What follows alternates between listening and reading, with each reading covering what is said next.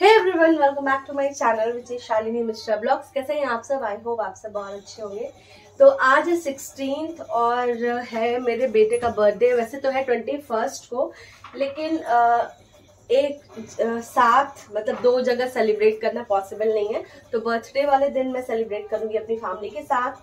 आज मैं दे रही हूँ अपनी ग्रुप यानी जो मेरी, मेरा जो फ्रेंड सर्कल है भाभी लोग का, उन लोग को पार्टी तो बस मैं, अभी आप देख सकते हो किचन बहुत ज़्यादा फैला हुआ है। मैं आपको दिखाती हूँ।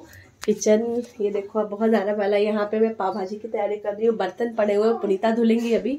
चॉपिंग वगैरह करके मैंने लगभग रख लिया है। और यहाँ पे भी सारी चीज़ें मैंने कर ली हैं।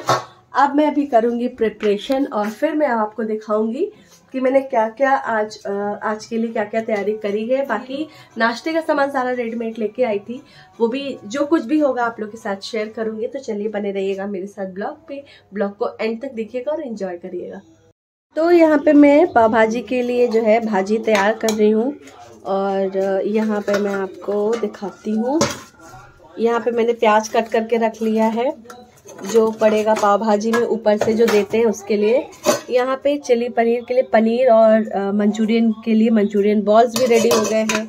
क्योंकि ग्रेवी दोनों की सेम होती है तो मैंने ये अलग से फ्राई करके रखा है और यहाँ पे ग्रेवी भी है बिल्कुल रेडी और इसके बाद से यहाँ पे सारी चॉपिंग कर ली है मैंने नूडल्स के लिए। और अभी मशरूम वगैरह काटना है। तो बस चलिए फिर बने रहिए हमारे साथ ब्लॉग में। तो यहाँ पे भाभी वगैरह सब लोग आ गई थी और नाश्ता वगैरह मैं सारी चीज़ें लगा रही थी। नाश्ता मैंने क्या क्या था वो वीडियो में नहीं बना पाई क्योंकि जब घर में पार्टी वार्टी होती है ना तो इतना टाइम होता है मैंने शूट किया यहाँ है। ये सब तुम्हारा दिया मैं आपको नहीं दिया दे रहे हैं बच्चा मेरा। हाँ, पता नहीं क्या बहुत ज़्यादा खुश थे। तो मैंने लंच में बनाया था चाउमिन घर, मैंने ये सारी चीज़ें घर पे ही बनाई थी। तो यहाँ पे मैंने चाउमिन बनाई थी, बहुत सारे वेजिटेबल्स डाल के, और थे, खाने में था फ्राइड राइस। फ्राइड राइस वगैरह सबको इतना ज़्यादा पसंद आया ना होता है आप कोई चीज़ मन से बनाओ, सबको अच्छा लगे तो बहुत अच्छा लगता है। और चिली पनीर और मंचूरियन, क्योंकि ग्रेवी सेम होती है तो मैंने ये दो चीज़ें डाल दी थी। और यहाँ पे रख रही हूँ मैं पाव और भाजी।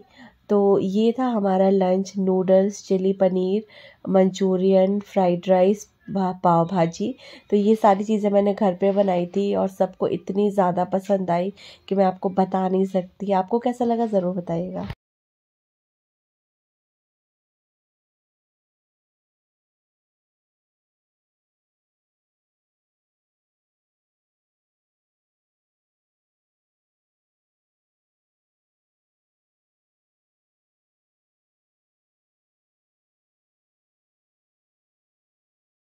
तो अभी पार्टी हो गई है ख़त्म और बहुत ज़्यादा थकान हो गई है।